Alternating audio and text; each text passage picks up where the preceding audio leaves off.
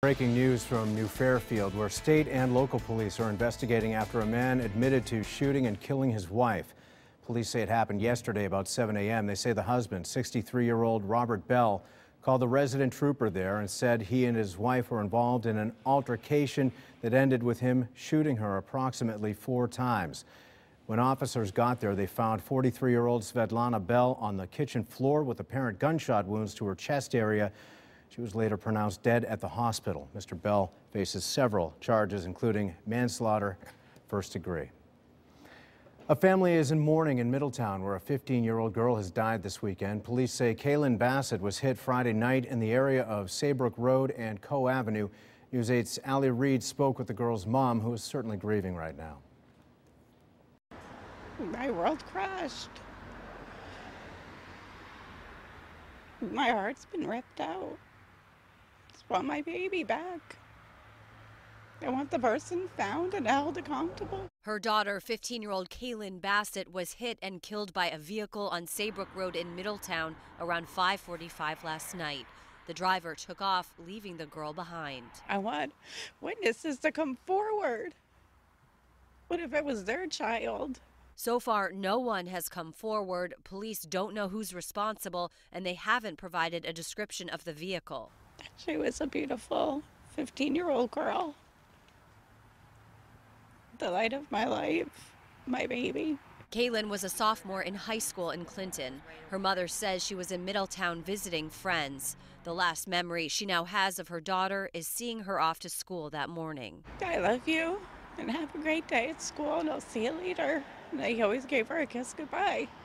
This is how I did it every morning. It would be her last kiss to her daughter. How that could be is one of the many questions she's not sure she's ready to ask. I don't know what I want. Because the more I ask, then it's going to be more real. And I don't want it to be real. I want it to be a nightmare. I want to wake up. I miss her.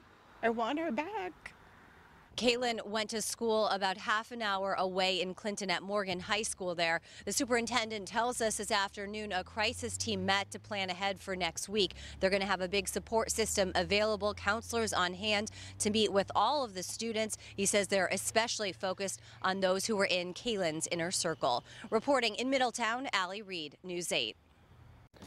And new information this morning about the crash in Bridgeport we told you about yesterday involving three pedestrians. The three included a four-year-old child, all of whom were hit by a pickup truck, and now police tell us the child has died. This is reported video of the scene happening on Boston Avenue near Dover Street. The driver stayed at the scene and no charges have been filed, although police are still investigating. Also in Bridgeport, a man in a motorized wheelchair, whom we told you about yesterday, is recovering after being hit by an SUV on Park Avenue. This also happened Friday night. Police say he is in critical condition with serious leg injuries. No charges have been filed.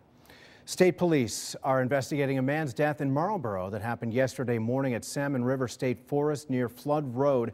A spokesman for the Department of Energy and Environmental Protection says the 43-year-old man was hunting when he suffered an apparent heart attack. An investigation is ongoing, but so far no evidence of foul play. And a sad update now about the Housatonic River rescue in Shelton that happened Friday night. Police say a group of people were aboard a boat when it hit something in the water. That sent one passenger overboard. That passenger, a 55-year-old man from Chaplin, has died. He was pulled from the water and taken to the hospital, but it was too late. His name has not yet been released. And Connecticut has lost one of its most popular broadcasters. Arnold Dean, well known as the Dean of Sports, died at his home yesterday in Rocky Hill.